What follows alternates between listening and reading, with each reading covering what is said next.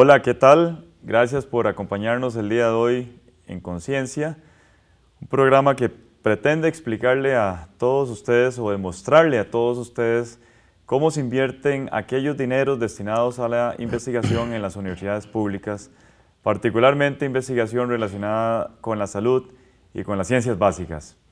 El día de hoy nos acompaña el doctor Rodrigo Celedón Araya, Don Rodrigo es profesor e investigador activo en la Escuela de Biología de la Universidad de Costa Rica. Don Rodrigo, un gusto tenerlo en conciencia el día de hoy.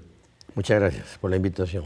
Don Rodrigo, usted ha sido eh, líder eh, regional y hasta mundial en un campo de muchísima importancia y quiero que hablemos particularmente de la desaparición del principal vector de la enfermedad de Chagas en Centroamérica, donde usted y vamos a hablar más adelante de los honores que ha tenido eh, o que ha recibido eh, incluso recientemente, ha hecho un gran aporte en, ese sentido. Pero antes que, desarrollemos el proyecto como tal, yo quiero preguntarle, ¿cuándo nace su interés por esta enfermedad y por qué?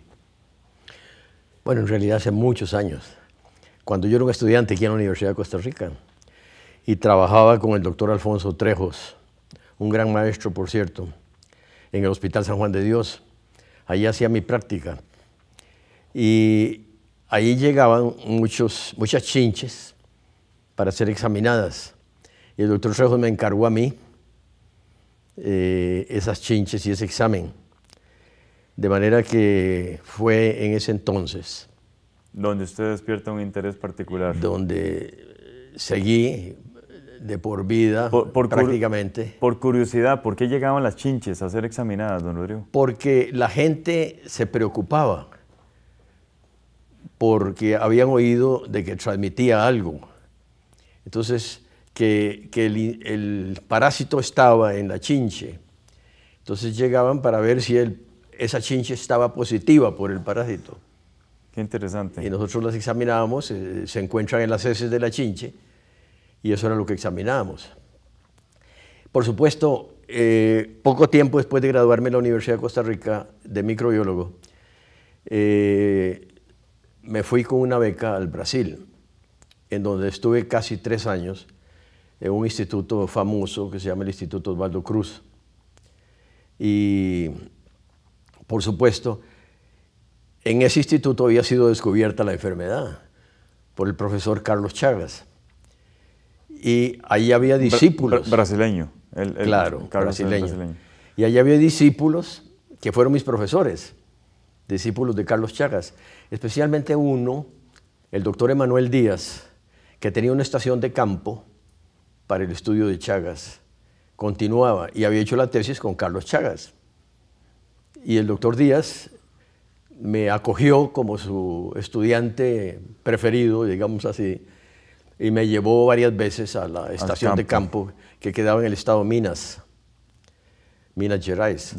De manera que todo eso despertó mucho interés en mí por eh, varios aspectos de la enfermedad. Excelente. Bueno, y casualmente quiero que hablemos de la enfermedad. ¿En qué consiste la enfermedad de Chagas?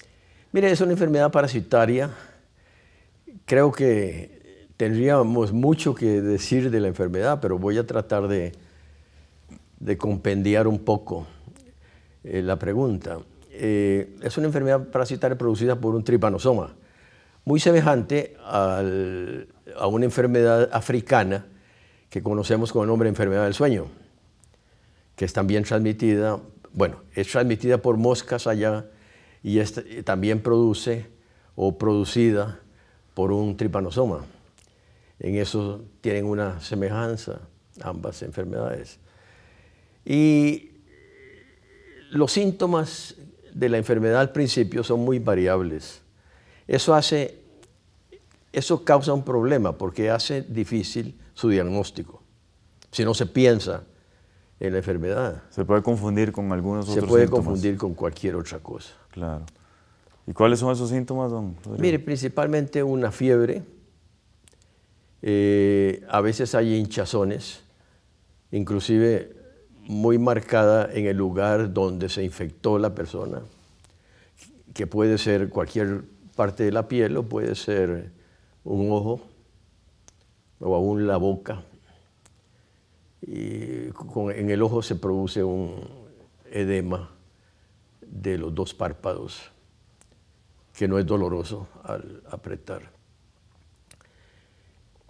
Pero, ¿Puede llevar a la muerte de alguna persona? Sí, produce una miocarditis al principio porque tiene preferencia el parásito por el corazón, por el tejido miocárdico.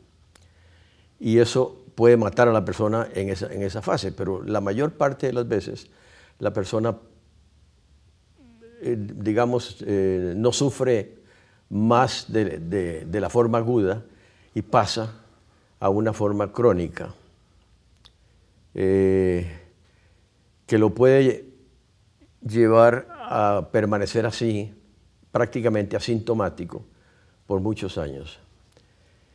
Poco a poco se van produciendo, generalmente, hay otras cosas que se pueden producir, generalmente eh, alteraciones del miocardio, alteraciones cardíacas y destrucción de lo que llamamos el, plexo nervioso del corazón.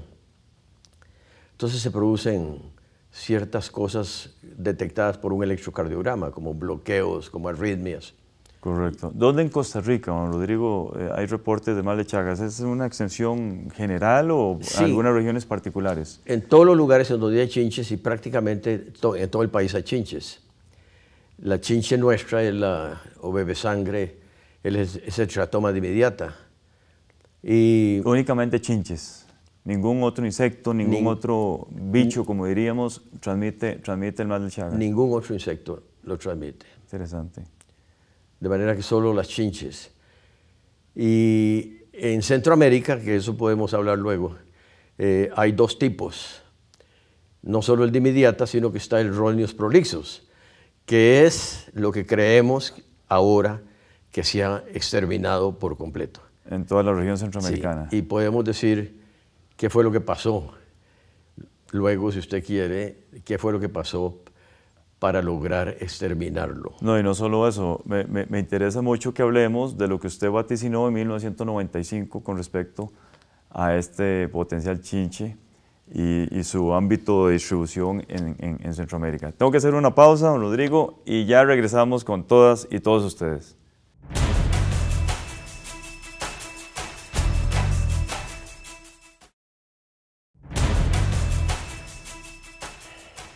Gracias por continuar con nosotros aquí en Conciencia. Estamos hablando con el doctor Rodrigo Celedón sobre la enfermedad de Chagas o mal de Chagas. ¿Por, ¿Por, qué se le llamaba mal de Chagas, don Rodrigo? Bueno, eh, a muchas enfermedades se les llama mal de, tal cosa, de manera que eh, es un... Ya no se utiliza el mal de Chagas, ¿verdad? Ahora es enfermedad de Chagas. Bueno, siempre ha sido enfermedad de Chagas. De manera que el nombre más correcto es enfermedad de Chagas. Claro, claro. Pero algunos han agregado el mal de Chagas. Hablábamos en el segmento anterior, don Rodrigo, que usted vaticinó algo muy importante en 1995. Coméntenos qué fue lo que usted predijo en aquel entonces. Mire, ese asunto que llamó mi atención poderosamente eh, se refiere al segundo y más importante vector de la enfermedad en Centroamérica, el Ronius prolixus. Y desde los años 70 yo hice la observación de que este insecto, este otra chinche, se encontraba en Centroamérica, de Nicaragua hacia arriba, y llegaba al sur de México.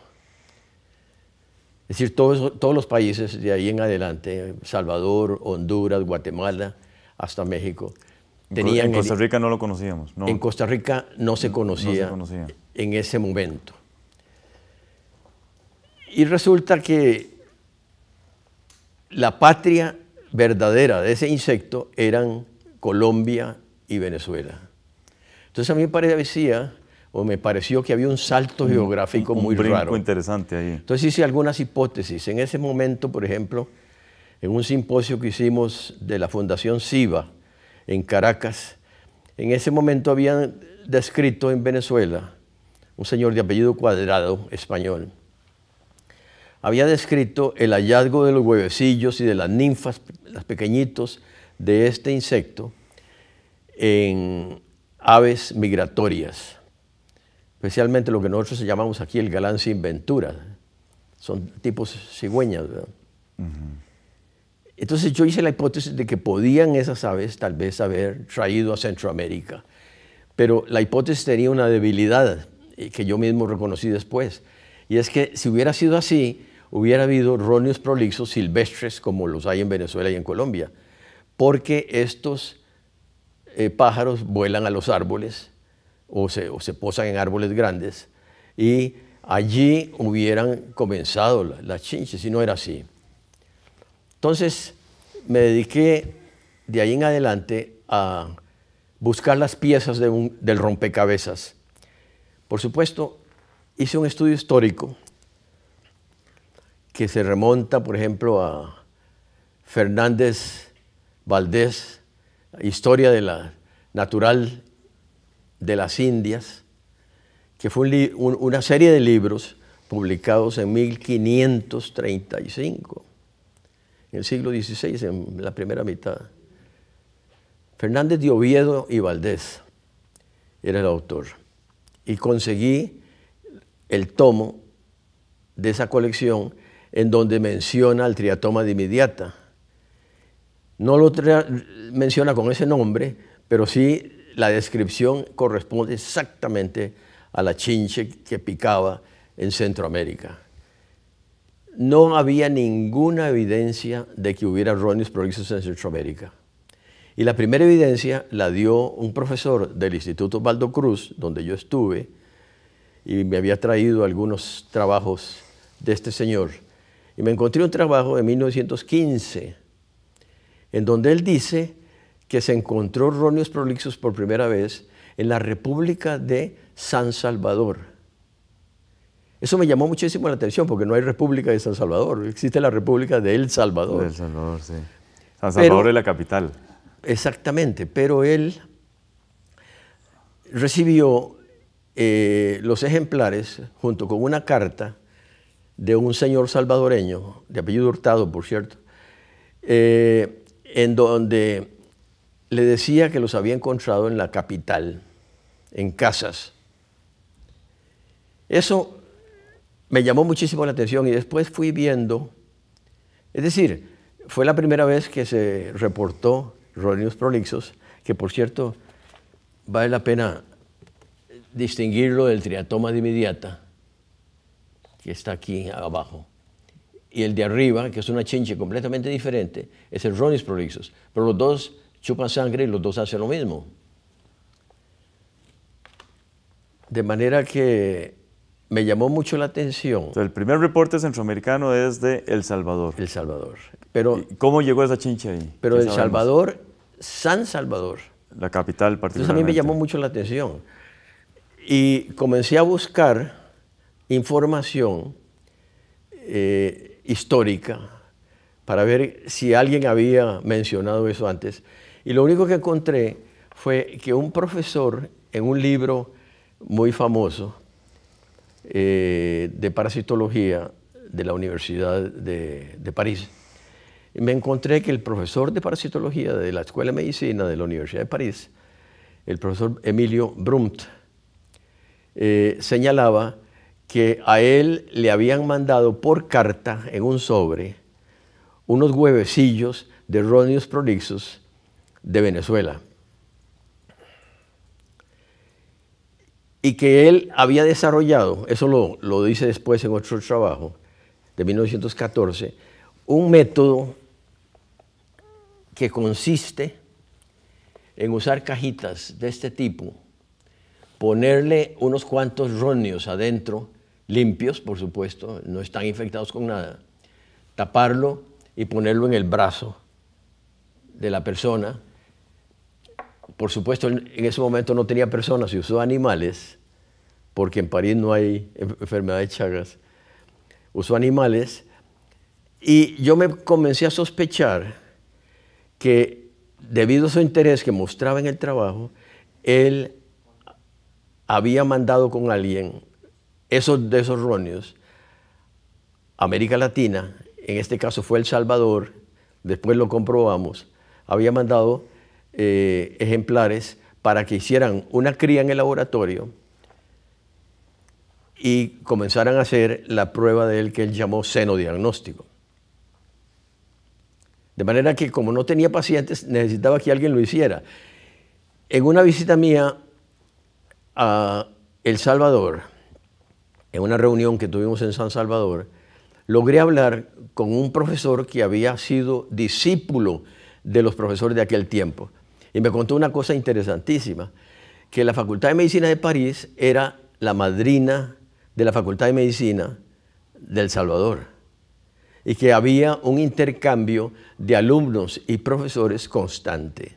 Dejémoslo ahí para continuar esta historia en el siguiente segmento. Ya regresamos.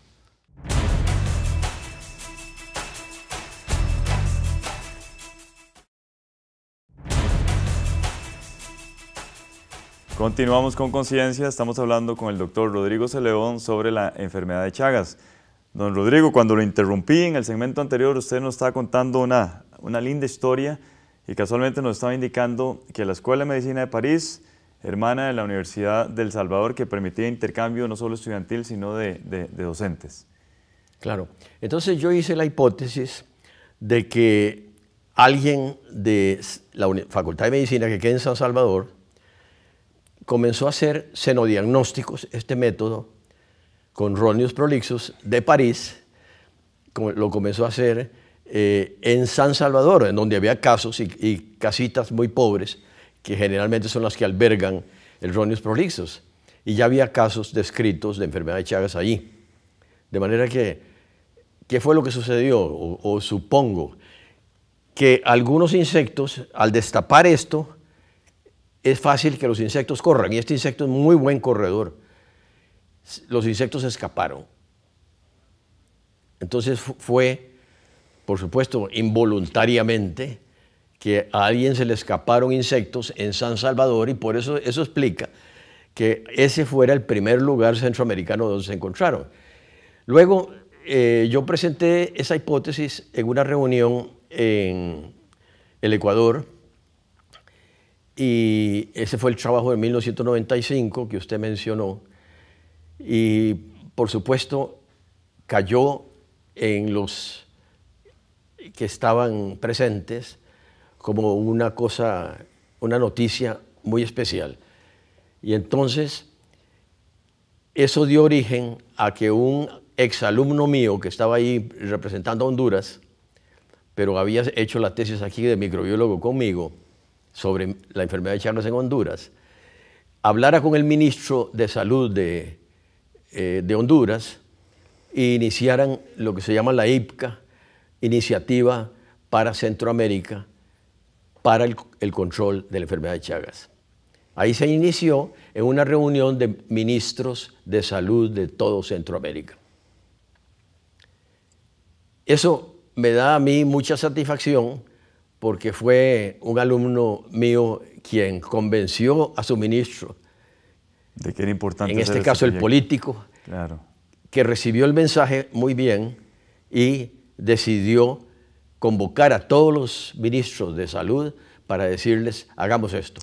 Y una de las... esto es, don, don Rodrigo, un claro caso de una decisión política basada en la evidencia científica. Así es. Así es. Y decidieron, entre otras cosas, en vista de lo que yo había propuesto, acabar con el Ronius prolixus. Yo dije que había sido introducido por una persona que no era centroamericano, o sea, no es nativo de aquí, y que era perfectamente exterminable porque era exclusivamente doméstico.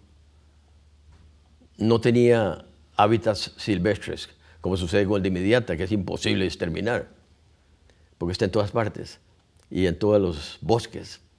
De manera que en ese sentido, Ronius era un blanco perfecto para los insecticidas que se usaran. Como sucedió eh, hace ya dos años, el último país centroamericano, que fue Nicaragua, y Honduras también, eh, declararon el territorio de ellos libre totalmente de Ronius prolixus. De manera que prácticamente este vector ha desaparecido del territorio. Y esto es muy importante porque este vector era tres veces más eficiente que el triatoma de inmediata. Donde había ronios prolixos, había más enfermedad de Chagas. Esto se demostró muy bien.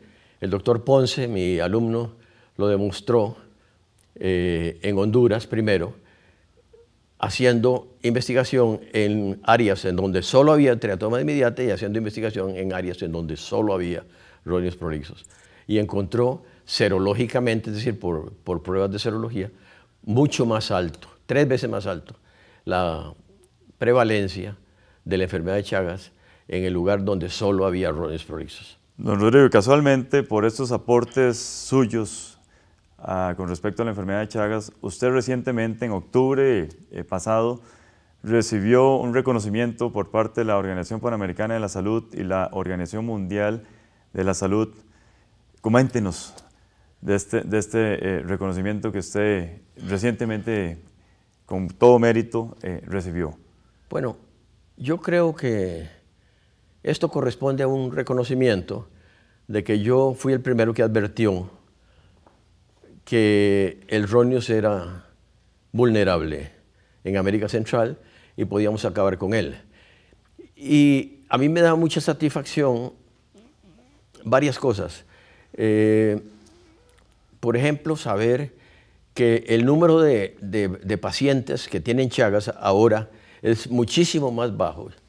Es decir, la incidencia bajó notablemente. Drásticamente. Eh, y de lo que había, que se calculaba para todo Centroamérica, 1.700.000 enfermos en todos los países centroamericanos, reuniéndolos a todos, eh, por lo menos 1.200.000 eran de lugares donde había róneos. Es decir, más de dos veces, lo que había en enfermedad de Chagas a, ver si, por triatoma. Si, mostramos esto en, cámara, don Rodrigo, este reconocimiento que como indico, recientemente en octubre pasado se lo, han dado a usted. Más que merecido eh, este, este, reconocimiento por parte de organizaciones tan importantes como la OPS y la, y la OMS. Y la OMS. Hay una cosa que yo quisiera resaltar porque me produce gran satisfacción y orgullo. Y es que este reconocimiento se dio también al doctor Carlos Ponce por sus trabajos en Honduras. Que fue su discípulo. Que fue mi discípulo.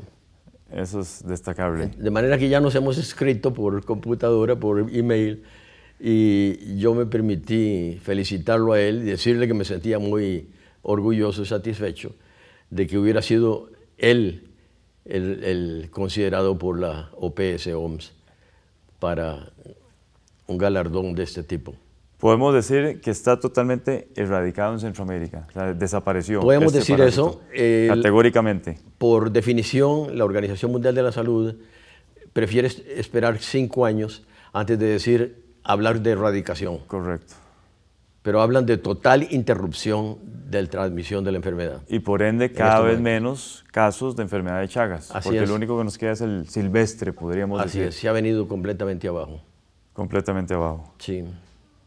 Eh, ¿Qué sigue, don Rodrigo, en las investigaciones de ustedes en, ese sentido, en los últimos segundos que nos quedan?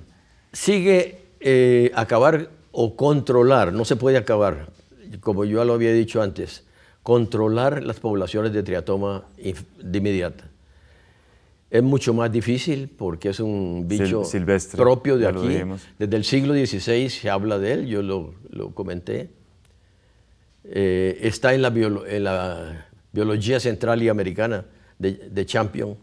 Ahí lo consulté y ya todo Centroamérica tenía de inmediata. De manera que es un bicho nuestro, propio, y tenemos que aprender a vivir con él pero lo podemos controlar en el sentido de bajar sus poblaciones. Excelente. Lamentablemente nos quedamos sin tiempo. Don Rodrigo, de parte del personal de conciencia, muchísimas felicidades por este merecido eh, reconocimiento, por todos sus años de, investigación, no solo en esta enfermedad, sino en muchas otras cosas, en términos generales, por sus aportes a la ciencia en nuestro país. Muchísimas gracias, Rodrigo. Muchas gracias felicidades. por invitarme. Gracias a todas y todos ustedes. Continúen con la programación del canal UCR de la Universidad de Costa Rica.